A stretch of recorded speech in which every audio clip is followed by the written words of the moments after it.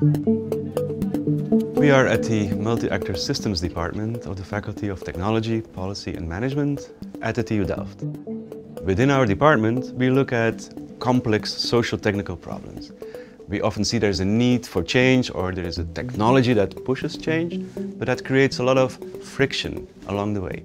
What we're studying are these friction points. We study them in different application domains, for instance, water, energy, resilience, cybersecurity, governance, and so on. A lot of our research here in the department, we're at the forefront of the developments that are going on worldwide. So that means you sometimes encounter situations um, that have not been studied before. So that creates a lot of freedom to experiment, try out new ideas, new techniques, new methods, and you have all the space here to do so.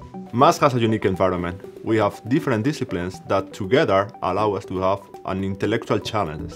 And these allow us to go beyond the traditional computer science approach. Well, TU Delft has of course a very excellent name, internationally acclaimed name, both when it comes to water and when it comes to aerospace. And we have excellent faculties here in Delft with whom I closely collaborate on these topics. I am a behavioral scientist by background and I do social psychological work on uh, energy related problems and I do that in combination with large environmental technologies or policies with my colleagues here.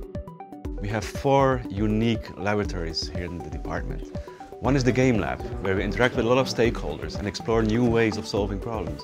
The Department of Multi-Actor Systems has exposed me to a lot of new methods like game theory, simulation gaming, and adaptation pathways, which I'm now applying to support decision making in India. If you want to work at a top technological university, at a department with great research, great facilities, and highly motivated teams, then please join us.